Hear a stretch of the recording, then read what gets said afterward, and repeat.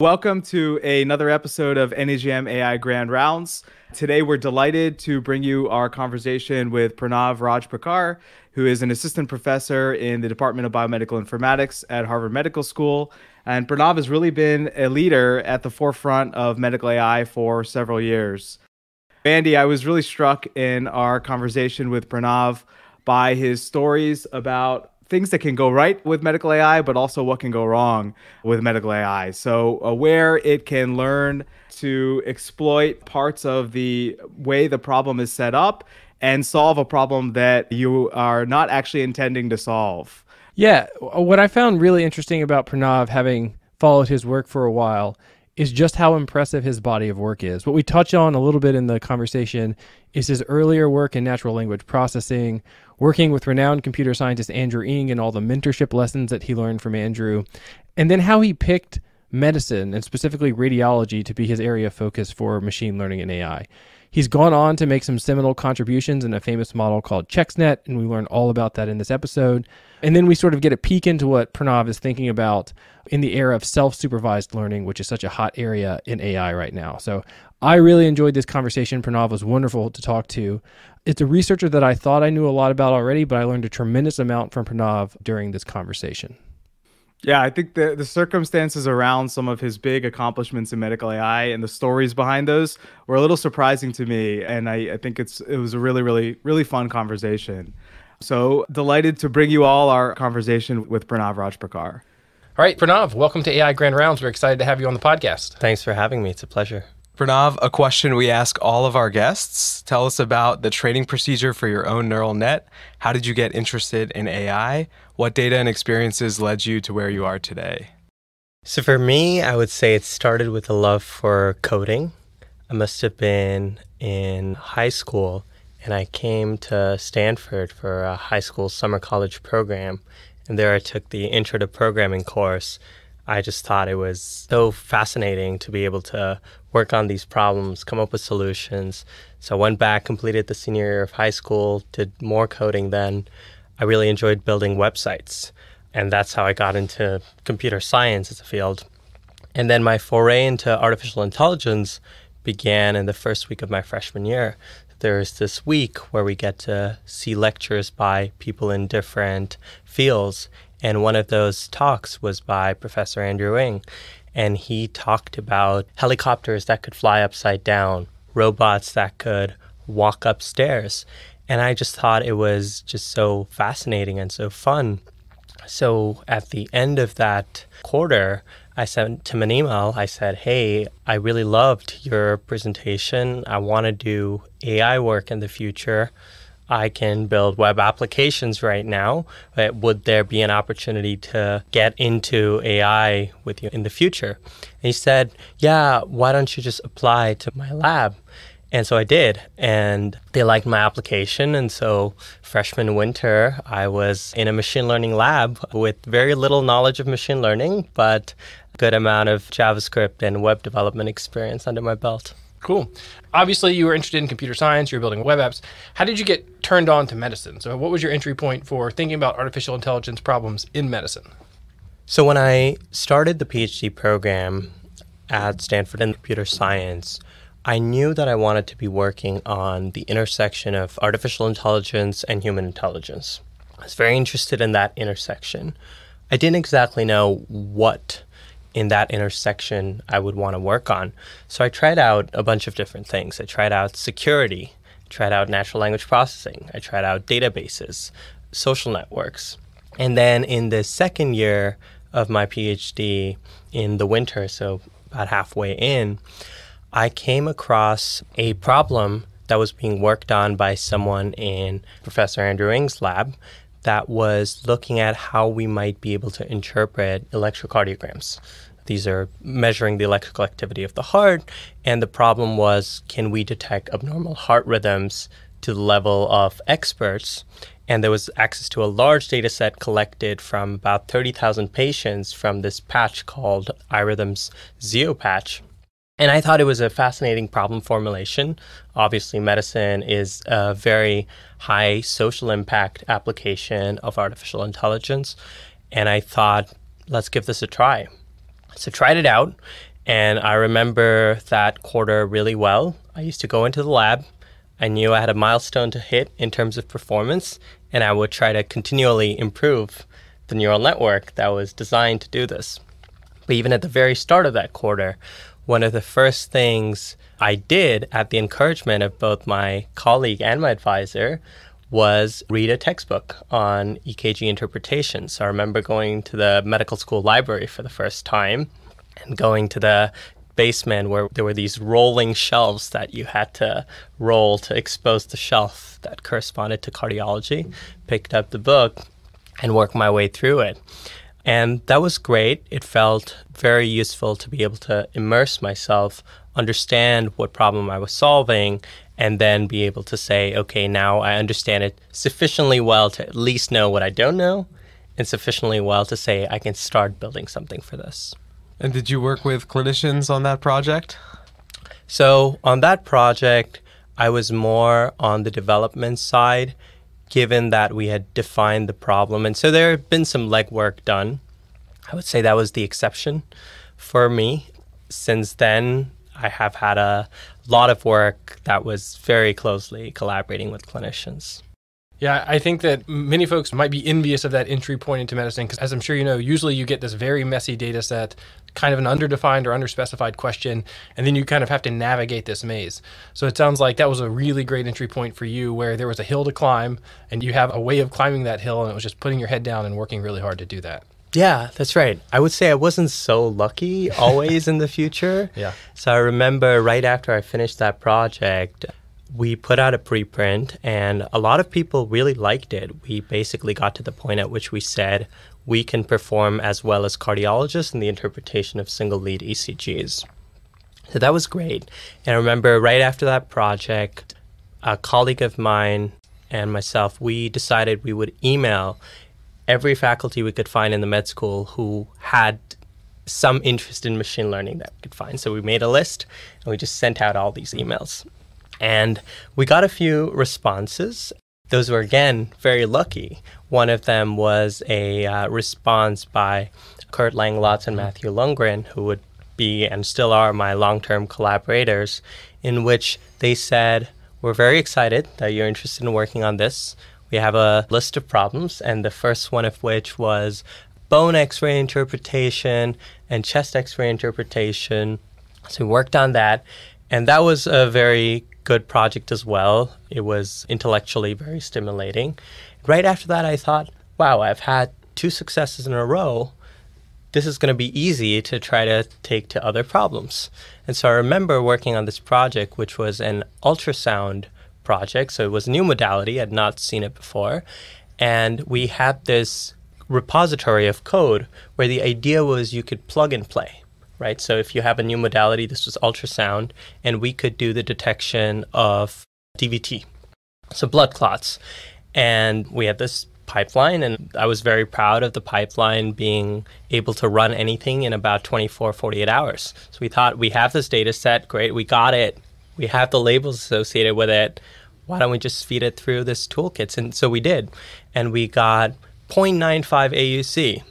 And there I'm thinking another great success, another one. medicine for deep stuff is learning. easy. well, it was it was just amazing. It was like we have this tool and it's working so well. And this was now we're talking January 2018. So this was still early. We hadn't seen so many successes of deep learning across all of these different modalities. This would be a big deal. And this is when we thought, okay, let's take a few verification passes through this. So code looks good. Let's look at where the model is looking. And so we look at where the model is looking and we have a classic ultrasound image and it's looking at the top right corner. Ah. I thought, okay, top right corner, what's that? And it turns out that's where your machine metadata is. is you look at the top right corner, you see the machine metadata, and that can make all the decisions. It's like, wow, that doesn't sound right. And it turns out there were two kinds of machines where our data came from. Mm-hmm. One of them was a screening setting where there was almost no clot, and the other one where there was always clots. Mm-hmm. It's like, oh my God, this is just, you know, this is problematic, but we can fix it. We can fix it by just cropping that out. So we did that, cropped that out, and I knew we weren't going to do as well. back to 0.95 AUC. I thought, okay, you know, this time it's got to work. And so this time we looked at the image and it was pointing to where you would expect the clot to be, but not exactly in the center. It's sort of to the right or to the left. And we saw there were these X's near the clots. Why are there X's near clots?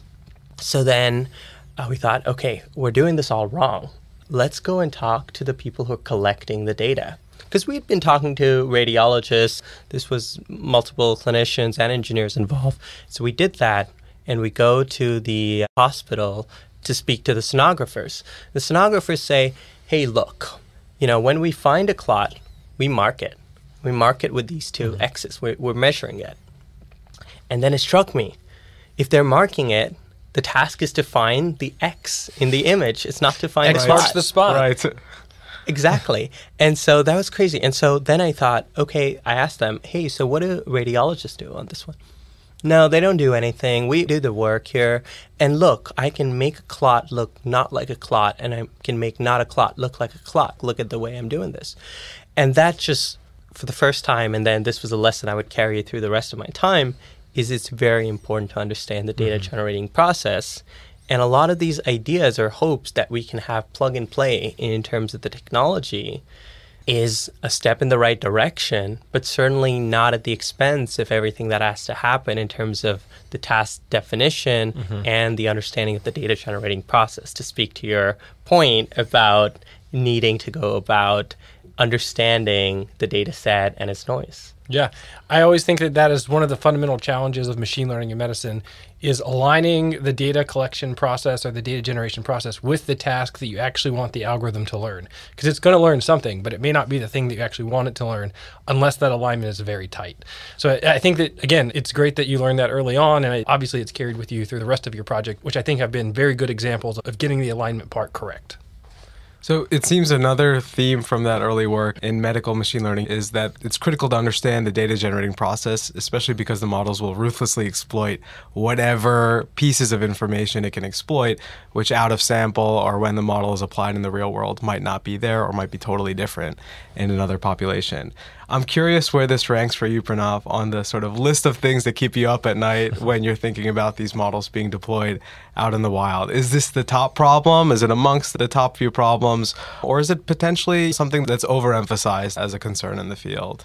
Sure. Yeah. So maybe I should take a step back and tell you about the way I think of my lab's work. So I would say the one line pitch is innovation to make medical AI intelligent, safe, and useful. I think all of these are very different directions. So, intelligent is about how we can push the capability of these systems to do more and more of what we would consider intelligent medical decision making behavior, whether that's I can make the right diagnosis for this patient, or I can make the right prediction of the future state of this patient, or I can make the right treatment decision recommendation for this patient. The safe part relates to I think now the most important question being will this model apply to different patient populations, to new geographies, new clinical settings? I think that's the big safety question of today. And how do we help the community transparently measure advancements on that? And the third part is useful. And I think on useful, you don't necessarily need intelligent solutions to begin with. In fact, if we try to understand workflows and try to think about the ways things can be improved, a lot of that could be drawn to interfaces or the right timing of doing certain operations or the right attention. But these are obviously very necessary if we want to think about showing a relationship between having a decision aid from AI and saying this actually improves some clinical outcome that we care about. I think it's the mix of all of these different things that we need to be able to say in 10 or 20 years from now, medical AI is going to significantly advance just for all of us the way clinical care is going to happen. That's great. So, just to broaden out from medicine for a little bit, some of your early notable work includes SQUAD, the Stanford question answering dataset. Could you tell us about SQUAD? Yeah, so it was 2015 December that I was at NeurIPS in Montreal. And I remember there being a lot of talk about natural language processing being the next big frontier that AI was going to be able to tackle. Now, six years later, we know how that has evolved. That that prediction did end up coming very true, but at that time there was a lot of hope associated with that particular application. Can I just get you to briefly summarize what folks mean when they say natural language processing? Sure. So I would summarize it as how can you read and understand text to do useful things? Mm-hmm. And useful things could be how do you answer questions, mm-hmm. or how do you summarize something, or how do you fill in a blank mm-hmm. given the context around you? These are kind of questions that people who are interested in natural language processing. And one of the big open problems at the time was when we Google search something, if you Google search a question, it can come up with a list of pages that are relevant that contain the answer. But what the step that was missing was from those pages, can you extract exactly the segment that corresponds to the answer of interest? This is the problem of answer selection. And this was a big open problem at the time. And I was going to start working for the next three months with Professor Percy Liang. This was a part of a rotation where for three months you work on a certain topic with a certain advisor at the start of a PhD. And so that was, was mine. And we spoke about well, one, that being a great problem, and especially for me because I came from a web development background and it seemed natural to be able to say, hey, how can we apply some of your web development skills onto this? And so the idea was could we generate a large data set of the pattern that you have passages of text, you have questions on that passage, and then you have answers, which are segments of that passage. So, for example, you might have a Wikipedia passage about some topic. Someone would ask a question and also provide the answer, highlighting the span of text that answers the question. And the largest data sets for that were relatively small. And we said, okay, we can make that bigger. And so we ended up with Squad, which was 100,000 questions for reading comprehension of text. And it ultimately became one of the most cited papers in natural language processing of the, of the last five years, counting from 2016. Not bad for a rotation project. Very good for a rotation project. That's right. A lot of that I would attribute to very good insight into what was a problem worth working on. And then the data set itself a sweet spot of having a data set that was not too easy and not too hard, that people couldn't make any progress or people would make progress very soon. And so I was responsible for the squad leaderboard where people submitted their models and I would see the results that they got. And we saw the rise of attention models. Mm-hmm. This is this new class that is so prevalent now that showed on the squad leaderboard they could achieve the first rank. I remember one night this must have been 2017 or so, I got an email from someone at Google and they said, Hey, we have just uploaded a model. Would be great if you could help us test it. We have a deadline coming up. And so I was like, okay, got to test it. And I couldn't believe the numbers that they got. So they were not only first on the leaderboard, it was first by quite a large margin. And this model they called BERT. Mm-hmm. And so BERT became a household name in machine learning, which was a very interesting, novel way of being able to pre train a model and then apply it to useful tasks. And it was amazing to watch that development, those breakthroughs unfold at a ever accelerating pace through those last few years. And so that was a great lesson for me in working on the right problem at the right time. I'm sure that a lot of the lessons that you learned in creating a benchmark task must inform what you're doing in medicine because, in many ways, we don't have great benchmark tasks for a lot of medical tasks. And so that you must carry some of those lessons forward with you even today. I think it's important to have alignment on two things. One of them is do you and I agree on what are important problems to solve? And then do you and I agree on for that important problem, do we have the right data set to be able to answer that important problem? And I think without alignment on these two, people will build machine learning algorithms for things that are not going to ultimately be helpful or translate into practice. And I think this model that the people who understand the clinical questions and who have access to the data, one of the responsibilities here is can we define that question clearly and make the data available to answer the question clearly available to the machine learning community such that people who are good at developing these models can actually work on good problems and the lessons that we learn there we can directly apply into models that translate. I think completing that loop is one thing that I hope that we as a community which consists of many different kinds of skill sets and people with access to different pieces of the puzzle can get right. Got it. So, a few more questions about your background. So, you've mentioned some of your collaborators who have informed you. You kind of touched on your PhD advisor, Andrew Ng, who, as most people know, is this sort of very big name, a luminary in the field of machine learning and artificial intelligence. Could you tell us a little bit of what it was like to work with Andrew, what his management style is like, and sort of I always think of my PhD advisor in some sense as being my parent, and I carry a lot of lessons from mm-hmm. them with me today. So, could you talk about that a little bit? I learned a lot from him. I'll give you a couple of examples. So, one of them was the way he thought about impact. I remember I was working on a project which would help Stanford students, I was a Stanford undergrad at the time, navigate through their academic journey. So help them find the right classes. I was very passionate about this. It was my pet project. It also kept me up to date with the latest web development technologies. So I had a lot of fun with it. I was chatting with Andrew one day, and one of the things he said related to how many people are you going to affect?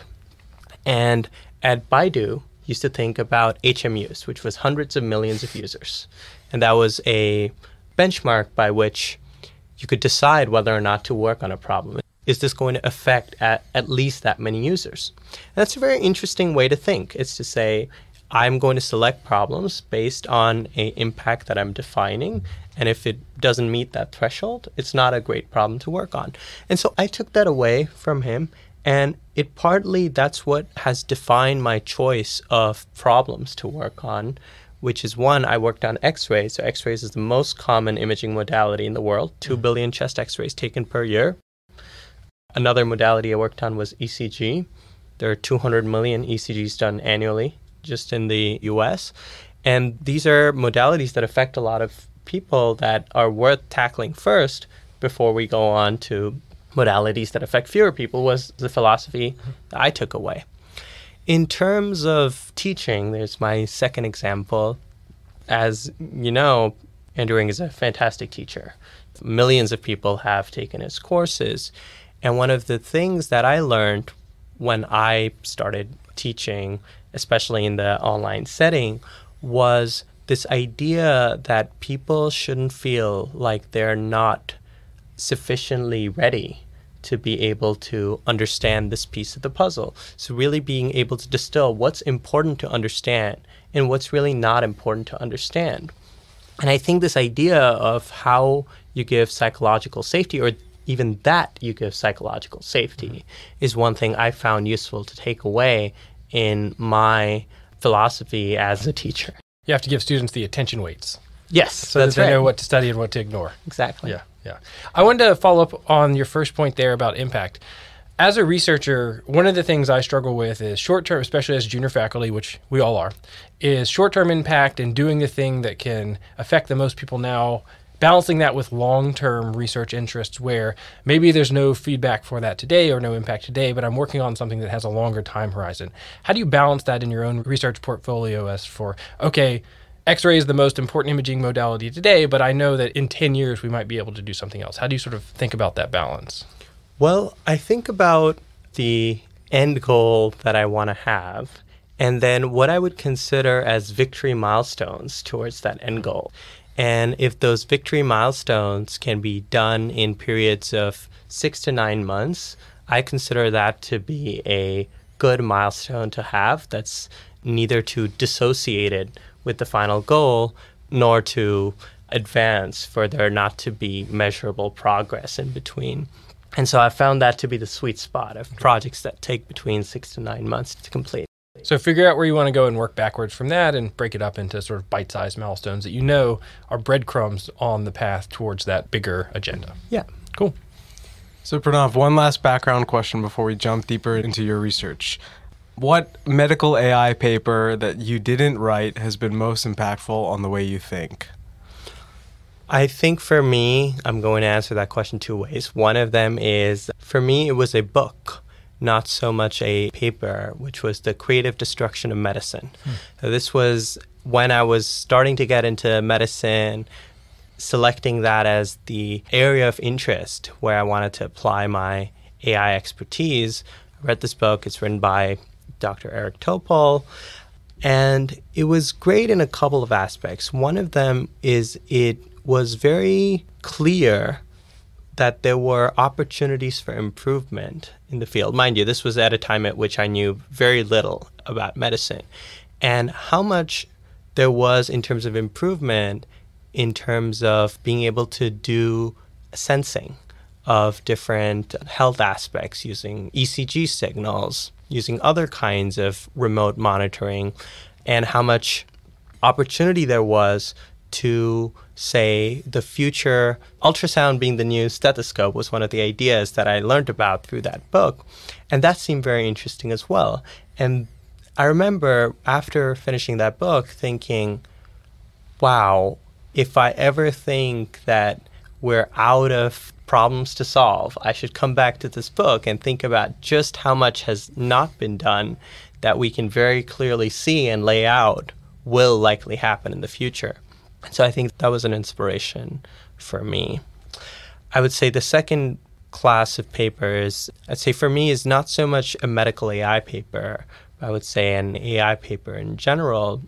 Is I've really enjoyed some of the works on large language models that have come out. The kind of paper that I enjoy is one where I think this is very elegant and this is always the way things should have been done. And extra bonus points to me if I had already predicted that I would have read such a paper in the future. I think that makes me feel good about thinking about okay, I have the right idea of where the field is headed. I think some of the works, including the contrastive image language pre training work from OpenAI, were very much in that direction of saying, I can learn from data that's naturally available in the form of images, in the form of text, and have my learning allow us to communicate in language when we're given these images. Well, Pranav, we talked a little bit about your work on what is arguably the world's most impactful ML rotation project in Squad. uh, so now I want to take you back to 2016, 2017. And I, I, remember this moment because there were really three papers that came out that convinced me the age of medical AI had arrived and it was a paper on detecting diabetic retinopathy published in JAMA. There was a paper from Stanford on diagnosing skin cancer using deep learning, and then there was your paper on chest X-ray interpretation using deep learning. And the name of the paper was called Chexpert. And so I was hoping that you could give us a little context, a little more background. You sort of teased us already with a little bit of the origin story for Chexpert. What was Chexpert? How did it come about? And how did the clinicians that you were working with at the time really inform that project? Right. So I'm going to have to walk two steps back from Chexpert to Chexnet and then build my way up. So this was October 2017. And this is an interesting story of how small groups can actually do non small things. Mm-hmm. I remember it was a weekend and uh, the NIH had come out with a data set called Chest X ray 14. Mm-hmm. It was a large data set of about 100,000 images. And at the time, I was starting to lead or co lead a program called the AI for Healthcare Bootcamp, in which the idea was undergrads who had done machine learning classes would get a taste of what AI research looks like. And I was in charge of coming up with a medical imaging project. And so the camp was about to start the week after. And I thought, wow, this would be a great project. So I texted a colleague of mine. I said, hey, this is probably a great project.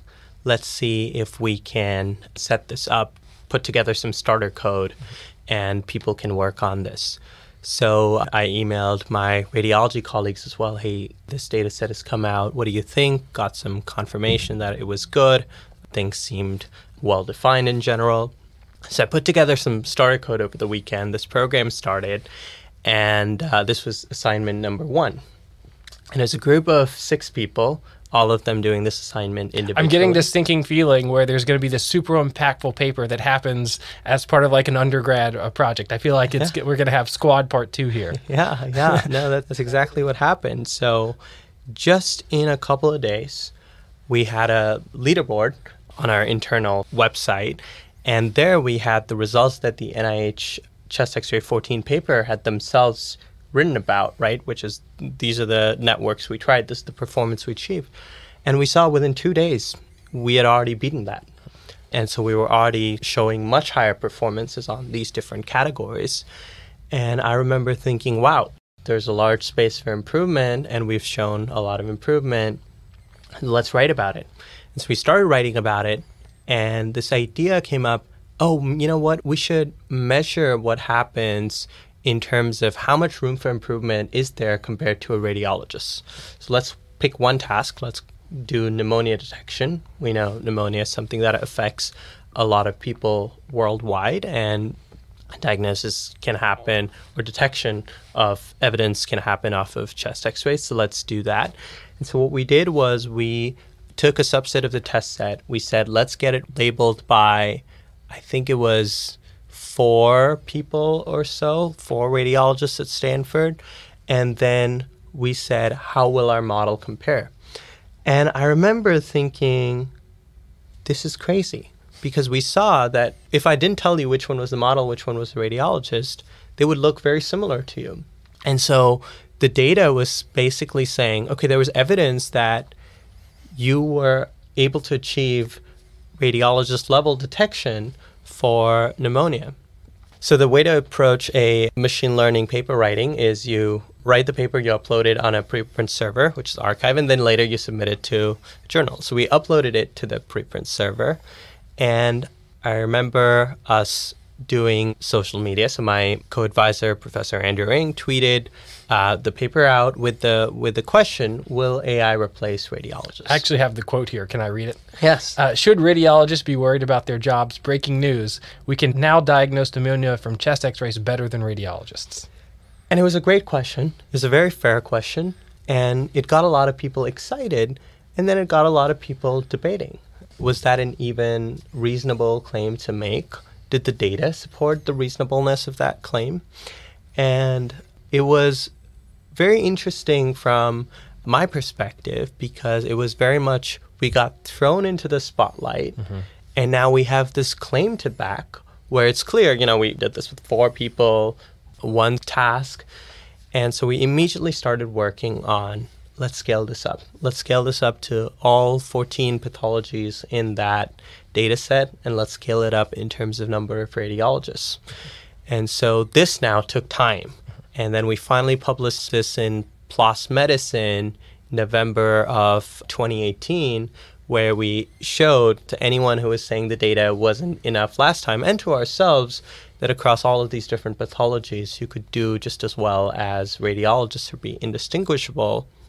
And that was the, the big result of that paper that was called ChexNext. Uh, next being sort of the the yeah, there's a whole Check version. cinematic universe now, and we're going to touch on some of them later too. But there's a whole exactly. bunch of Chex variants now. Exactly, exactly.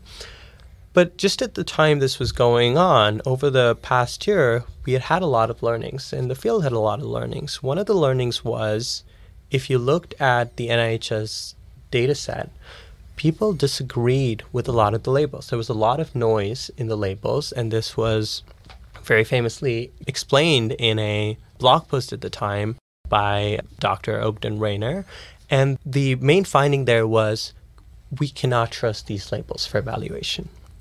But the key here, in my mind, was we can trust these labels for evaluation, not for training. We can still do very good training with these labels. It's just that we can't trust the ground truth when we come to evaluate it. How can we solve this? Well, assuming no other context is necessary, if the image is enough to make a detection or a diagnosis, then why don't we have several radiologists read the same image and let's take their majority vote? And that's what we did for this study. But it did bring to light this idea that we really need clean data sets that have labels that we can generally trust. And that was the motivation behind us working on Chexpert, where we had a discussion. So Matt Lungren, Kurt Langlotz was involved here. And we said, okay, we have data from Stanford. Can we do a clean labeling of that, improve on the natural language processing there, and be able to make that data set available to the world? And by the way, let's replicate the ChexNext study in which we're again able to show that we're at least close to the performance of radiologists. And so that was the Chexpert effort. And we published this in Jan 2019 in AAAI, where we said, here's a data set, it's been labeled cleanly.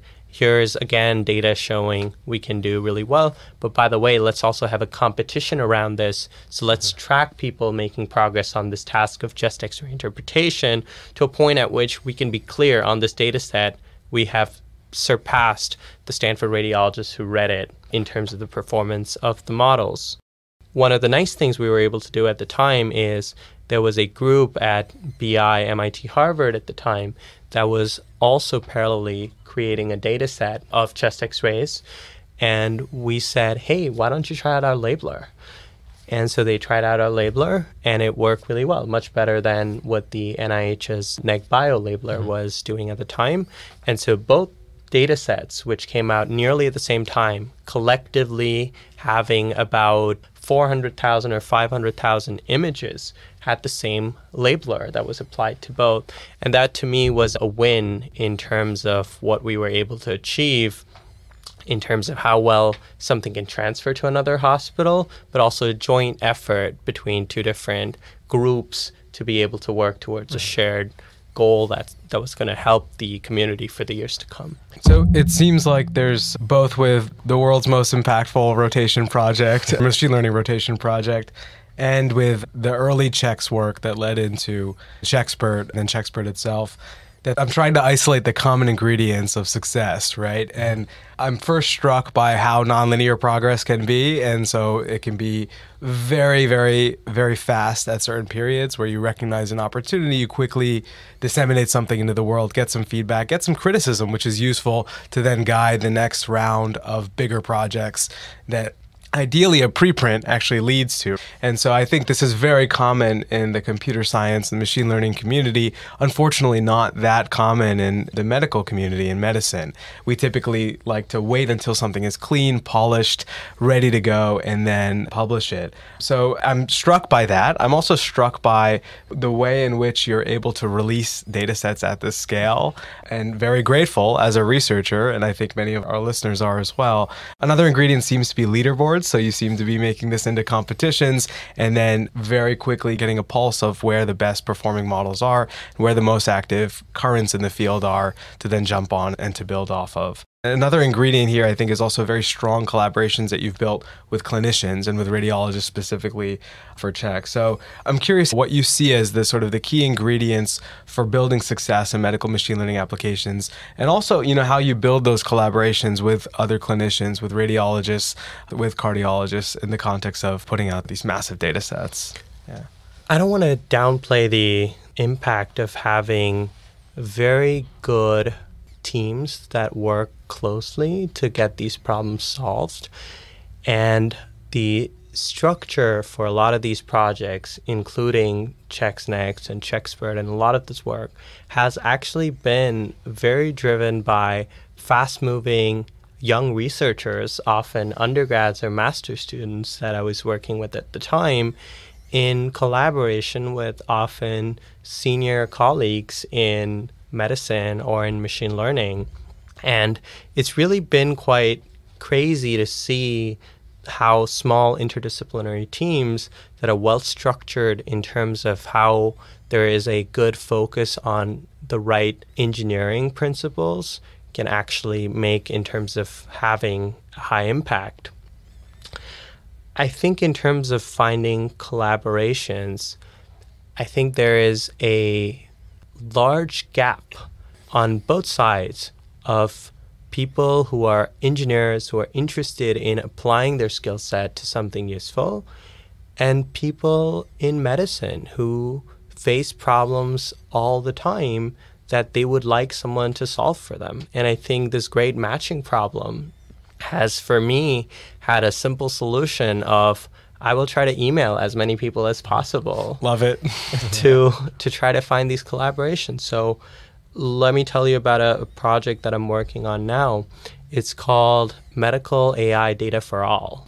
And my hope with this project is to create the largest in terms of number of hospitals involved data set for starting with chest x-rays but expanding to all kinds of medical images across the world by having a small amount of x-rays that are shared by every hospital publicly but standardized by us such that you can now evaluate whether models are going to fail or succeed when you apply them to different places. It's like a test bed of sorts. Yeah, this is a test bed. And I think this is the greatest challenge of our time in terms of safety evaluation, which is simply that we have no data except for anecdotally what we're hearing from medical AI companies that are bringing their solutions to new hospitals and finding that they have to retrain their models to make them work on new hospitals. We have no public way of having the community transparently measure whether or not there are pitfalls in the way that we're saying models will generalize from site A to site B. But now let's approach it in a principled way. Well, to do that, we need data, and we need data of the right kind. And this effort called Medical AI Data for All has had my team reach out to hospitals all around the world, establish collaborations, and say, hey, here's our pipeline, here's our ask, and here's the way that we're going to go about this collaboration in the science, are you in? And a lot of people have said yes. And I think this is how, step by step, we start building communities around how the future will work. Great. Maybe to just ask you about some of the more recent extensions that built off of Chexpert and the Chex multiverse. We saw your recent paper, Nature Biomedical Engineering.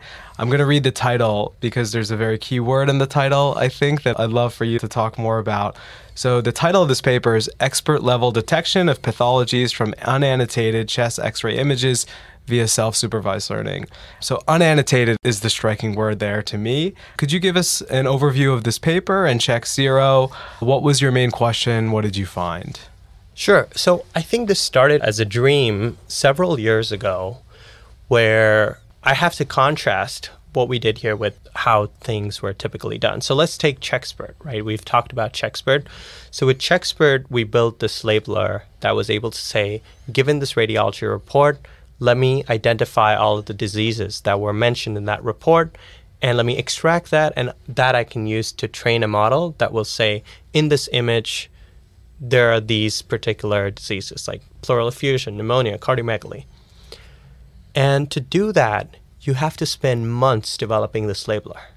It has to be a person who is in charge of engineering how you find the different terms. And so we have this table that says, how is endotracheal tube referred to uh-huh. in text? Well, there's ETT, there's endotracheal tube. There might be misspellings.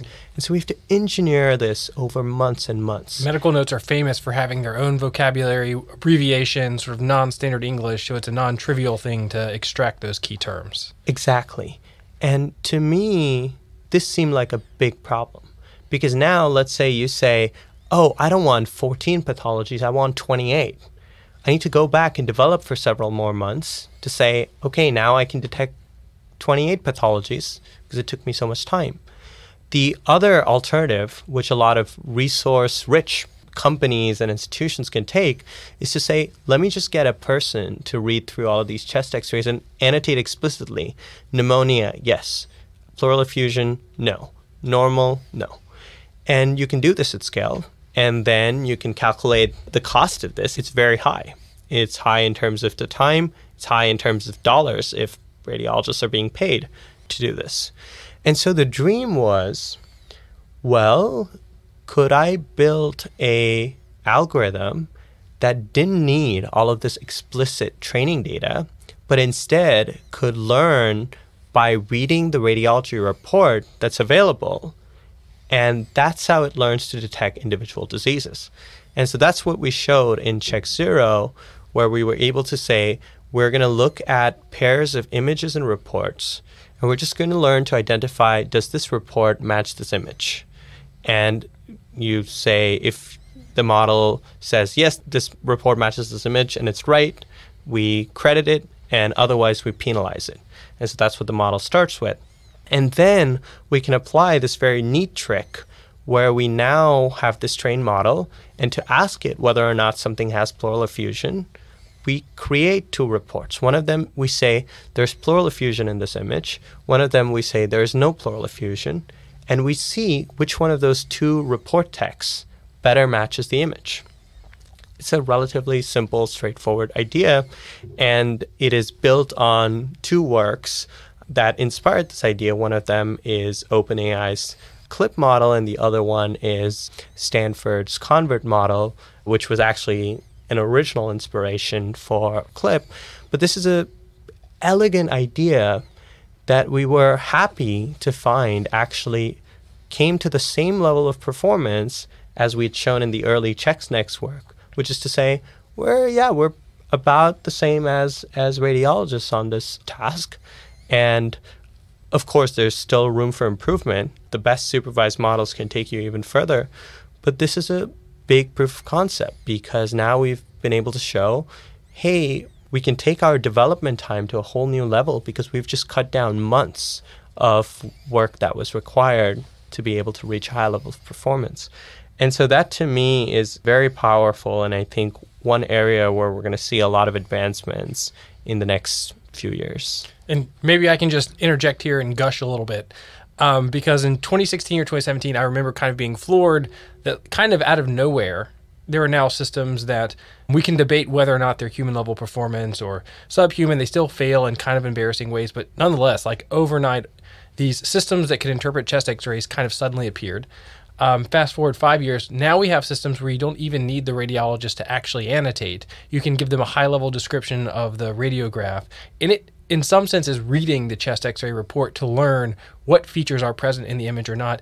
And then when you want to label or get an interpretation for a new chest x ray, you're literally just asking it, is pneumonia present in this chest x ray? And it will give you back essentially like a yes or no. So it just seems to me like there's been amazing progress over the last five, six, seven years. And I find it very exciting that now we're in this sort of very we don't need labels, but now we can interact with systems using natural language because you're literally asking the model questions about what's in the, the chest x ray. So, again, I've been floored. I wonder if you think about what Chex Zero 2.0 looks like, what, what new capabilities it might have. Yeah. So, we've talked about reading radiology reports as a way to learn. I want to get to writing mm-hmm. radiology reports in their full entirety. Mm-hmm. I think one of the shortcomings with current systems is that we think of simplifications of the full clinical task. In diagnostic radiology, there are several simplifications that we make. For chest x ray interpretation, let me share a couple. One of them is we think about defining certain diseases and we say we're going to give labels for each one of them, predictions for each one of them by a model. And people have scaled this up. I think I saw one with 127 findings. But if you read a radiology report and you try to understand what is the information being conveyed, it's not just information about whether something is present or absent. There's attributes associated with that description. There's attributes associated in terms of location in terms of severity, and in terms of certainty. I think all of these are well captured in language. Language is the form of communication that's most natural in terms of the current clinical workflow. But one task that has long escaped our machine learning formulation is saying, can we directly get to the radiology report from the image without actually going through this intermediate step of saying, I'm only going to make these selected predictions. And the power of this is that we'll be able to have basically an input image and output a radiologist report to the point at which I hope it will be indistinguishable or even better in quality to the physician that needs to use the report than the current reports are. And the use of this is in terms of standardization, in terms of saving time, but then also in terms of improving access in places where there isn't going to be a radiologist maybe at night, then you can have these systems take that place. And of course, there's a lot of regulations that need to change to make this future happen. But I think technologically, this is where we're headed, and this is where I think there's going to be a new wave, a new generation of medical AI systems. Do you see this as changing the role of clinicians in these medical machine learning projects? Do they get to spend more time on other aspects of it? Does it increase the importance of the traditional role of clinicians on medical machine learning projects? So, in my mind, maybe let me let me describe to you the the aspects in which I think clinical expertise is key. I think number one is problem definition. I think in terms of problem definition, there is a big difference between a problem definition that works 90% of the time and a problem definition that works 99% of the time. And I think if we want to say these systems are safe to use at all times, then we need to cover that gap. And so I think if we think about a roadmap that needs to happen from where we currently are to what is the full complexity of the clinical task. There needs to be a lot of defining that needs to happen to get us through that roadmap. Maybe even change in guidelines, maybe change in terms of standardization of terminology. There's a lot to be done there in terms of now saying, well, earlier I had systems which were people who were at a single institution that had their own style, that had their own workflow, to now we have these systems that are going to be across all of these different workflows in setups which are going to be very different from each other. What is the standardization that we need to have in terms of the way we set up our tasks, in terms of the way we set up our workflow that's going to make this truly work? And I think that's a really key part of where clinical expertise is going to be required. And that's one of the primary ways in which I think clinicians are going to be leading the way. So, just to switch gears a little bit from research, you've been very involved in medical AI education initiatives. We spoke briefly about your online course with Andrew Ng, teaching AI for medicine as a specialization now on Coursera. You are the director instructor for a new course at Harvard, CS 197 AI Research Experiences.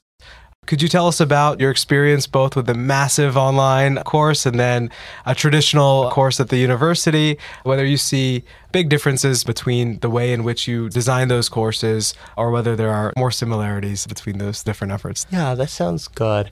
I think one of the reasons I decided to become a professor is that I really enjoy teaching. And this has been a long time interest of mine. In high school, I used to tutor econ and business. And then when I was doing the PhD, I felt like all of the things I was learning at the intersection of AI and medicine were scattered in terms of where I could find resources about them to be able to catch myself up. That in the third year or so, I thought, I wish this would be a course. I would have learned so much if all of the things that I've learned would be structured in a way that I could just go through something for a few hours and know exactly what I need to know to solve a variety of different problem formulations. Finally, at the end of my fourth year, I decided it was time I should do this. And I wanted to do it as a Stanford course. And I remember talking to Andrew Ng, and he said, Why don't you just do it on Coursera for the world? Impact. That's right. Um, 100 million Yeah, units. HMUs. Got to Yeah. get those HMUs. So I thought, yeah, that sounds great. It would be a challenge for me to try to teach something that would be seen by a lot of people. And I remember spending a lot of time thinking about what are the skills someone would need to be able to understand any paper in medical AI. This was a time at which I was trying to keep up with every single paper published in a major journal. and trying to distill what are ideas that I have learned from other places that I can put into this course. So ultimately, this ended up being three courses. So it was a specialization where part one is on medical diagnosis, part two is on medical prognosis, and the third one is on treatment. And it combines basically toolkits that you would need for each of these different problem formulations and tries to explain them. And I would say my estimate at some point was for one minute of video, I was doing 24 hours of preparation. Wow. And it was very hard, but I felt like the clarity of thought I got by finally distilling it down to a minute was just very, very high. And I really enjoyed that and pretty proud of the specialization we were able to build. And I hope that has been a useful resource for the community. And I hope it'll continue to be a useful resource for the community, even when the technologies that we're using are changing so fast. And correct me if I'm wrong, it's primarily targeted at machine learning CS types. Do you have any plans for a clinician side of that?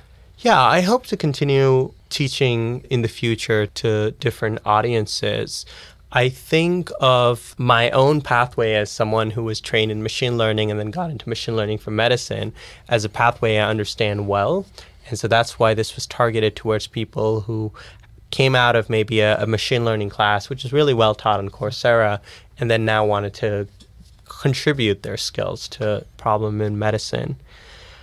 And then you asked about how this contrasts with my recent class. So, uh, CS 197, for which the notes are all public, by the way, so you can follow it online, is titled AI Research Experiences.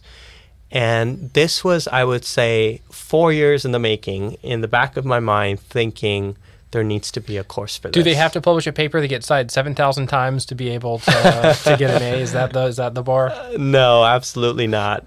My interest for a long time has been can we take first time researchers who are talented, maybe know machine learning, certainly know some computer science, and enable them to do AI research quickly? And I think the kinds of skills that we learn in traditional classes and the kinds of skills that we get out of a research experience, there's a gap somewhere and people are expected to fill up that gap on the fly. And I remember in the first year of my PhD, I spent time in five different labs. In undergrad, I was in two different labs, and I understood how that learning process could be very unstructured and therefore detrimental to actually being able to make progress. And then I thought, what are skills that one can learn the form of a class that allows them to say, I can do software engineering well. I understand how to work in a group. I understand how to navigate the reading of research papers. And then I can navigate the writing of a research paper as well. By the time people are finishing their PhD, they're masters of all of this. But I think the rest of it can be taught in a course format in three months. And that is my hope with CS 197. So it's called AI Research Experiences. It basically covers if you come out of a machine learning class, what is everything you need to know with an asterisk there on my version of everything you need to know to be able to contribute to research very effectively. And is it primarily undergraduates? It's primarily towards undergraduates, yes. So it's a different focus than the Coursera course, right? Yes. Which is really to get very quickly up to speed with being able to to pick up those skills for writing research papers and contributing to research projects. All right, Pranav, is it okay if we do a quick lightning round? Let's do it. I forgot my air horn though, so if you Right. don't want to, yeah. So, brevity is the soul of wit. So, you get two sentences to respond to each of these questions that will be in rapid fire. Um, so I always hear from clinicians, how am I going to trust AI if it won't explain itself to me? So my question for you is, should AI be explainable? It depends on the use case. You get one more sentence. Sometimes you need to explain at a global level how a model works, and sometimes you need to explain an individual decision. Expertly done. Pranav, what's your favorite novel? I like The Gene, although it is more a nonfiction book than a novel. We'll count it. Isn't it called an intimate history? Isn't that so? Maybe maybe, maybe maybe that counts. Given the spotlight that you were put on during your PhD around human level physician performance for chest X-ray interpretation, is Twitter a meaningful medium for scientific discourse? I think it is in terms of both discovery of what's interesting and in terms of hearing different perspectives on a problem. Okay. Do clinicians need to understand machine learning to contribute to machine learning projects? I think in the same way that users of apps don't need to understand how an app works as much as how to interface with it, I think I would like to put the burden on the developers of the apps to get right the user interaction. The idea being the user is never wrong. Will machine learning reduce costs in healthcare? Yes. Well done. Are preprints a net scientific good? Yes. The final question of the lightning round is if you could have dinner with one person, alive or dead, who would it be? I think I'd have to go with someone who is who is dead. I'll say probably Richard Feynman, Okay. Just because I have read a couple of his books and I thought it would be really fun to be able to have a chat with him. All right, cool. Thanks. That's the end of the lightning round. So I tallied up your score. You've made it to the showcase showdown. You've made it to the, the final segment. Uh, you passed the lightning round. Um, okay, so now we're the last segment um, of questions that we want to ask you about our big picture and sort of concluding questions. So I guess the given your perch, your successful history of collaborations with clinicians, and given everything that is happening in medical AI now, how should your typical clinician think about the impact of AI on their profession? Well, I think it would be useful if there were a way to basically list out the problems that uh, you face as a clinician on a day to day basis and have your wish list for what you consider to be somewhere you would need help. And this should be a wish list that is of the following form, which is if I could have a help with any given decision, what is the kind of decision I would want? What is the format of the decision that I would want in terms of the output? And what is the data that I would expect this tool to have? And I think if, as a clinician, you have the ability to set out this problem definition and start collecting the data or start to figure out how to get that data, I think it is very likely that you will be able to build a partnership with someone who is able to build a solution for that and start getting a headway in terms of integrating that in your own practice and hopefully be adopting in the future a commercial solution that takes care of that in a in scalable, safe manner. So I would say, in terms of steps to take now, that would be number one. Okay. Just to push on that a little bit more. So going back to the ChexNet tweet from your advisor, do you think over the long term, physicians should be thinking seriously about replacement by AI? I think there are two aspects to that question of will AI replace doctors. So let me talk about radiology. I think one of the aspects of that question is capability. If we think about the capability of algorithms to take in an image and output a report, will that capability be achieved? The answer is absolutely yes. And it will happen in the next few years. And then you think about layers of complexity on top. You say, okay, but I take into account the indication. That will happen. I take into account the prior. That will happen. Now, the issue is that in a lot of databases, that linkage isn't well characterized or, or clean. And so it takes time as a result of the data not being in the right format. But in any case in which the task is well defined and all of the information that is accessible and available to a clinician is made available and accessible to a machine, that decision is going to be made and is going to be made really well. Now, that is a different question from the replacement question because there's also a usefulness component to this.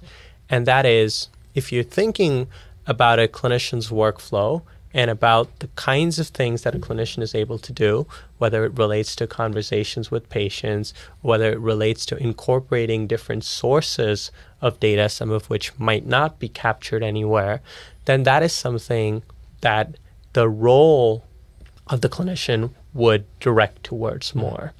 And so I think the replacement question is dissociating into two questions, which is what is the interaction of the physicians with the tool, and then what is the capability of the tools. And the replacement question can be thought of as the meeting of these two sub questions. Got it. Thanks.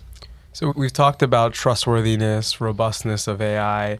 Obviously, these are big themes, a very important concept. So I'm curious if you could give us your thoughts on whether at NET will machine learning, artificial intelligence, exacerbate healthcare systems disparities? I think not with the right kinds of education to the community and the right kinds of support for the research that tries to figure out how safe and effective and equitable these systems are. I think if we continue to support that research, one of the reasons it's important to support that research is that there may not be incentive to ask those very questions in industry where the questions of intelligence and how we can push that might be more aligned with a profit making incentive, while the ability to make systems fair and equitable might not be very aligned there. And so I think the burden will fall onto academia to be able to make those claims. And I think there will have to be an interplay of being able to say, I can try to verify the accuracy of these systems by having some kind of transparency into at least their outputs, if not their internal decision making process, to be able to validate whether or not these things work in practice. And I think as long as that separation can be kept of not having industry influence, whether or not such studies can take place, then I think we will move towards a world in which we're able to have these systems be safe and equitable for all. I think also I want to add to this, and this is one of my hopes, is that there is this natural default that the way we're going to deploy these systems is going to be companies that are going to be selling their products.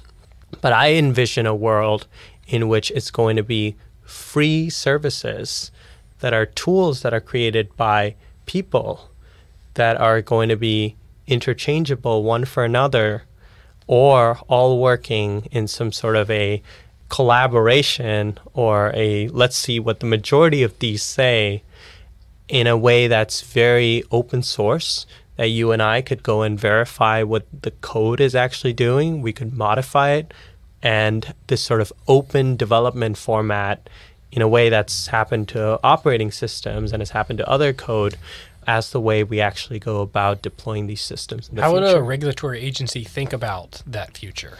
I think it's going to be challenging to think about that that future from a regulatory standpoint, but in the way that the FDA regulation is saying we're going to establish a regulation on the process used to update models and develop that. I think if there's a system which says for something that is developed by people all around, these are the steps that are going to happen before we're using this on real patients, and those are agreed upon by the regulatory bodies and by all of the different stakeholders involved, I think that's to me seems like a good starting model for how we bring about these models into practice. This, I think, might be my favorite question. And feel free to go as big or small as you want. What is your most controversial opinion? This is an easy one. Okay. I think my controversial opinion. Then is, try harder. my most controversial opinion is that I think de-identified medical data should be a easily accessible resource for researchers. Hmm. And this is certainly not the way things are working right now. As you know, healthcare data is very siloed, and privacy is one of the explanations for why this data is not widely available. I don't think that's a very good one because I think there is a lot of value to be had in making that data available to researchers and a lot of ways of acquiring consent from patients if that seems to be the bottleneck of being able to do that and make that data available. In fact, the data should be available even maybe by default, and the consent should happen by default rather than explicitly doing it per project. I think that would be a very important model for us to go forward. And I think in some ways, we're already 10 years or 15 years behind of where we would be compared to a world in which we had easily accessible and available data. And this means data not in just a small sliver of a vertical, like a single chest x-ray associated with some labels, is to be able to get a overall picture of, of a patient. I think there are going to be technical approaches to get around the privacy challenge of being able to say, I have sensitive medical data that I cannot fully de identify, yet I'm still able to build useful models off of this. I think we will work towards this in the future, but I worry that mm-hmm. even if we have the technical approaches, we're going to have just challenges in setting up the infrastructure to be able to say we have all of these different data sources that have never talked to each other that are very hard to even go and do individual reach outs to coming together to solve a problem. And so I think if we take the approach of we all agree that medical data is a resource that we're not going to try to sell because I mean that is a model that a lot of hospitals take as this is a valuable asset. We can sell it, and you know, in the limit of infinite resources, maybe the right thing to do is to buy all the data from the different hospitals and make it freely available for all. And I think this norm needs to change, and I hope that it will change in the in the next few years. Great. Pranav, one final question, and we'll end on a optimistic note. What are you most excited about uh, in the next five years for medical AI? I'm very excited about pushing the capabilities of these systems. I think there was a wow factor in 2017, 2016 when we saw the first examples of these models that were able to perform as well as experts on these really well defined tasks. I think the next five years is thinking about how we push that to be able to have more wow factors to say all of these things that we thought were traditionally in the domains of hyper specialized systems or systems that required a lot of resources or a level of intelligence that we didn't think possible or a level of coverage we didn't think possible suddenly become possible. And one of those directions, as I mentioned, is the generation of reports. But then on top of that, you can think about layering on explanations. You can have conversations looking at an image between a clinician and a model. And I think that future is going to be possible and is going to happen in the next five years. Awesome. Pranav, what a pleasure. Thank you so much for joining us. Thanks for having me. Yeah, thanks. Thanks again for joining us on another episode of NEJM AI Grand Rounds. Be sure to follow us on Apple, Spotify, Google, or wherever you find your podcasts.